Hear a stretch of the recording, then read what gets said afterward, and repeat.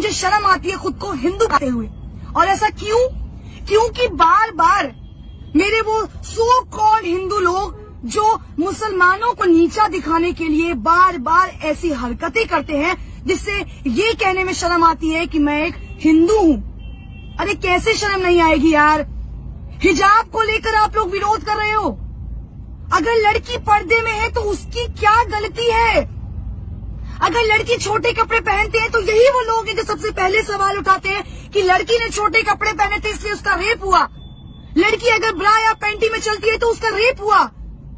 अगर लड़की हिजाब में चलती है तो आप लोगों को इस बात से क्यों तकलीफ़ है? क्यों तकलीफ़ है आखिर इस बात से? यार, उन्हें सिखाया यही गया है, उनके धन में ये चीज़ अपनाई गई है।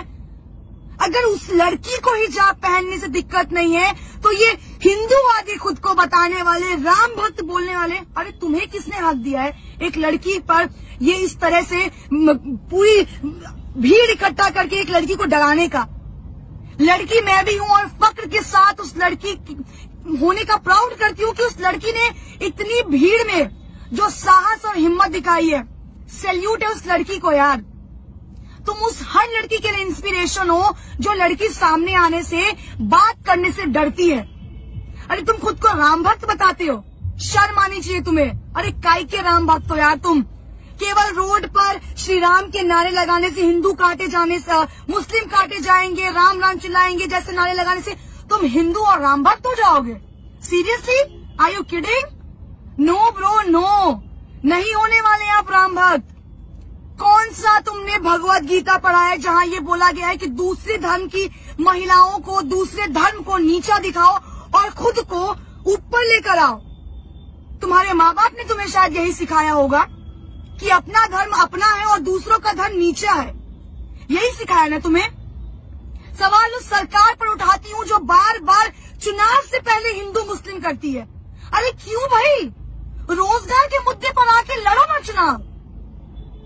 क्यों तुम्हारा चुनाव से पहले ये हिजाब, ये हिंदू, मुस्लिम, ये नारे तुम्हें तकलीफ़ देते हैं? क्यों देते हैं? अगर सौ की भीड़ में वो बंदा जय श्री राम के नारे लगा सकते हैं तो ये एक लड़की खड़े होकर अल्लाह अकबर क्यों नहीं कर सकती है? क्या तुम्हें हक है कि सिर्फ़ तुम जय श्री राम के नारे लगाओगे? क्या मुसलमानों को हक नहीं है अल्लाह अकबर कहने का? तो कटवा के बना दो उन्हें हिंदू? तुम्हें इतनी प्रॉब्लम है उनके मुसलमान होने से तो। बनवा दो उन्हें हिंदू? या उन्हें धक्के मारकर इस देश से निकाल दो? क्यों गाते हो सेक्युलरिज्म का नारा? क्यों लगाते हो सेक्युलरिज्म का नारा? जब तुम्हारे देश में ही एक धर्म को नीचा दिखाया जाता हो बार बार कहा है वो भाजपा के नेता? हमारे भाजपा के जो नेता हैं कर्नाटक के सीएम, क्यों चुप्पी साधे बैठे हैं अब? अब महिलाओं की सुरक्षा नहीं याद आई, अब महिलाएँ नहीं याद आई। अब आपकी सरकार सबका साथ, सबका विकास पर बात नहीं करेगी। किस बात का डर सता रहा है आपको? जवाब दीजिए ना। कहाँ है स्मृति ईरानी? कहाँ है मीनाक्षी लेखी? कहाँ है निर्मला सीतारमन, जो राहुल गांधी पर एक सवाल खड़ा करने में पीछे नहीं हटती हैं। अपनी इज़्ज़त अपनी, और दूसरों की इज़्ज़त इज़्ज़त नहीं है क्या? अरे बात कीजिए ना हिंदू मुस्लिम पर। क्यों नहीं आके सामने से हिंदू मुस्लिम करते हैं? क्यों हर बार चुनाव से पहले उन गुंडों को छोड़ देते हैं जो आपका काम करते हैं? इतना ही शौक है ना लड़ने का तो सामने आकर लड़िए ना। क्यों पीठ पीछे वार करते हैं? किस बात का खौफ है? भाजपा के अंधभक्त तो वैसे ही सीना ताने खड़े रहते हैं। महिलाएँ सुरक्षित है।